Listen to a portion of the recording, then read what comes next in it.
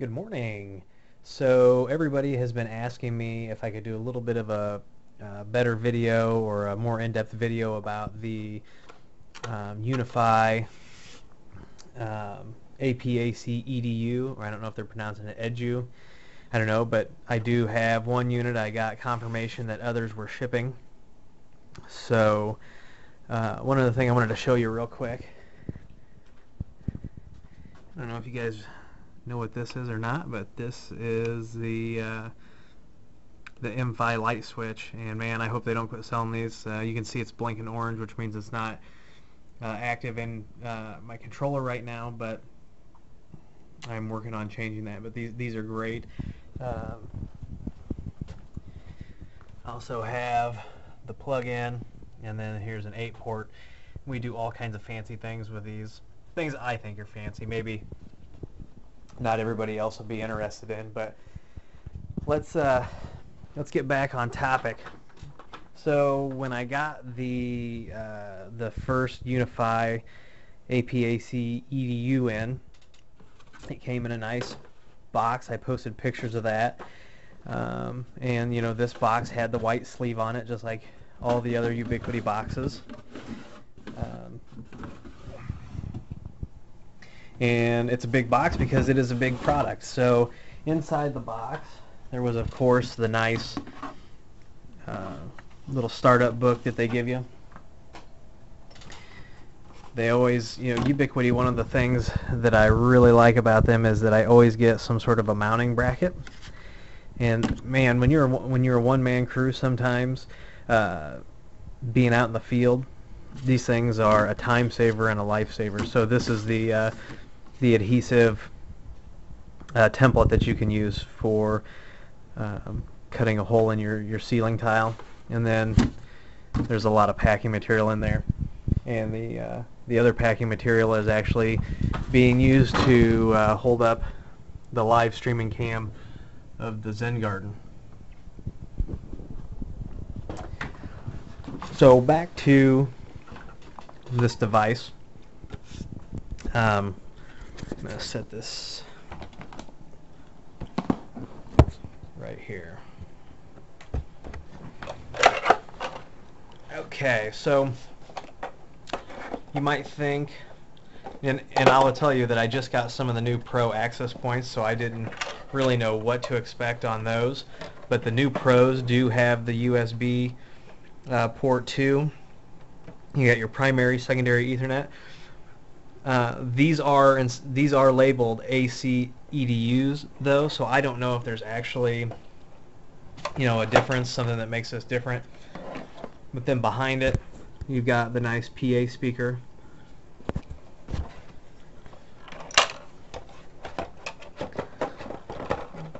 So I had a little bit of a devil of a time with this the other day, but you can see it just twists right on there. Same LEDs, the nice new Ubiquiti logo. And this thing is just really, um, it is pleasant looking.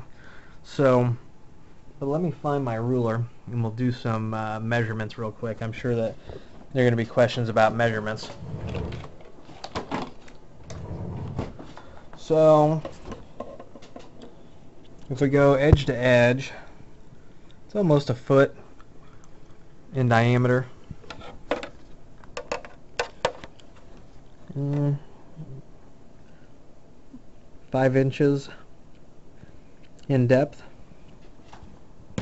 So um, it's it's pretty nifty. You use your uh, template, cut a hole in your ceiling tile.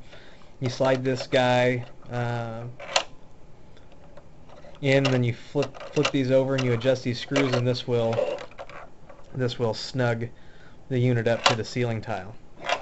Standard um, Ethernet input there. Overall, I'm I'm really impressed. Um, let's see if we can get a shot of uh, my controller here. This is the Beta 5 controller. As you can see, there's one active WLAN device. So if I go to devices, I called it ITEDU and this is the model name. You do have to have uh, I believe one of the, the newer controller. You'd have to check the forum. I can't remember off the top of my head which controller you have to have to adopt this guy. Um, it's got the standard locate and restart. You can see I've had it plugged in for 12 days. Uh, do we have any clients? No, my phones are not connected yet. So what I'm going to do real quick is I am actually going to connect my phone um, uh, connected and you can see um, ITEDU. You can group group um, the devices into different uh, broadcast groups. So I am actually going to step out of the room because it's likely to have some feedback. Uh, well, actually, first, let's uh, pull this guy up.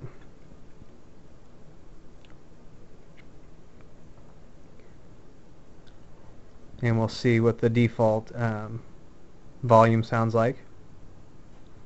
Comes with three um, tests. They are OGG Vorbis, it looks like, format. I don't know where these are kept. I don't know if they're kept on the controller, if they're kept on the device, or if they're kept on the access point. I haven't really uh, looked into that too much yet at this point. Welcome to the UniFi Public Announcement System. So the volume's not all the way up, but you can imagine if that was in a ceiling tile pointing down, that you would get you would get pretty good acoustics from that. And um, I'll tell you that when I test this, uh, people like to come by, they see it sitting there, they ask what it is, and we show them and we play with it. I go out in the hallway.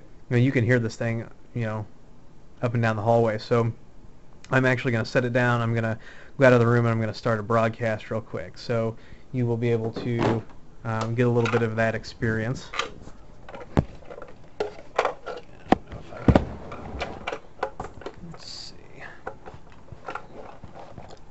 It was a little awkward. Most of my testing is done with the device flat or actually mounted.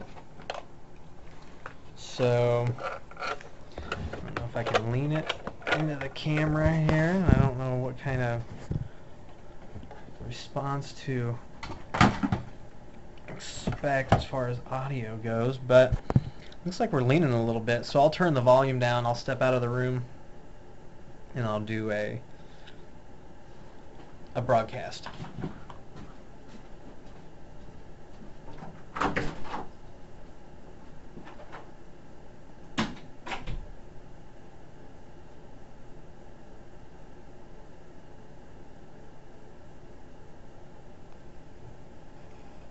So I am about 40 feet away from the access point outside, and you should be hearing this.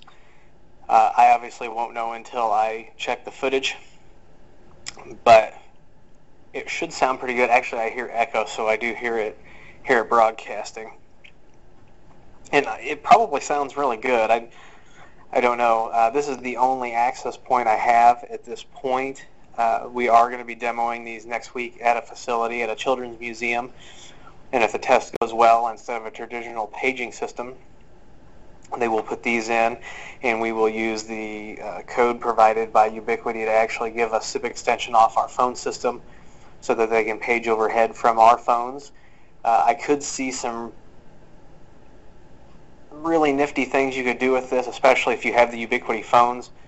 I'm betting that uh, there's going to be some integration going on there. But I tell you what, if you like this video, give it a thumbs up, subscribe if you would, and uh, we will see you at the next video. Oh, if there's anything else you want to see about this access point, please let me know and I will try to provide that.